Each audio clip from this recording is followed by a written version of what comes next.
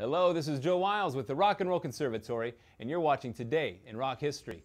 Today is February 10th, and on this day, in 1962, Cliff Burton, bassist for Metallica, was born.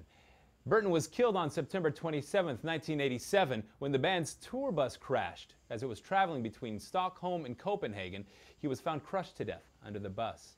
In honor of the life and achievements of Cliff Burton, let's learn one by Metallica.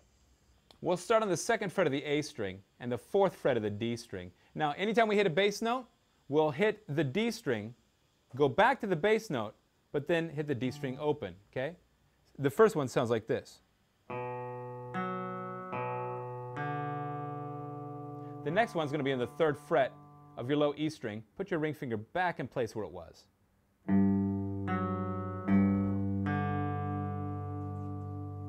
Go back to the original one, second fret A string, fourth fret D. Go back to the third fret of the low E string. After this one, answer it with an open G. Okay, kind of repeat that again. This time, we're going to hit the open A string, third fret of the low E string,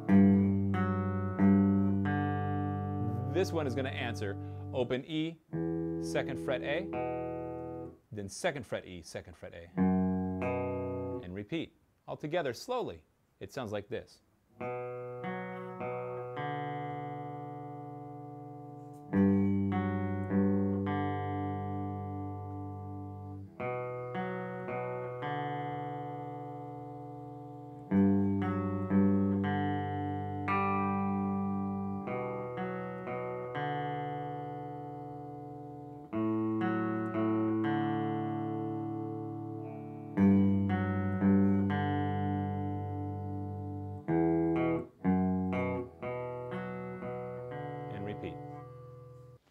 What rock star got fired from his band after trading in his passion for singing for his passion for racing cars? Join me tomorrow and find out. I'll see you then.